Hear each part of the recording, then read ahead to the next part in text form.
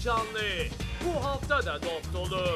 Efsane kadın Aysel'in albümünün kamera arkası görüntüleri ilk kez heyecanlıda. Oh,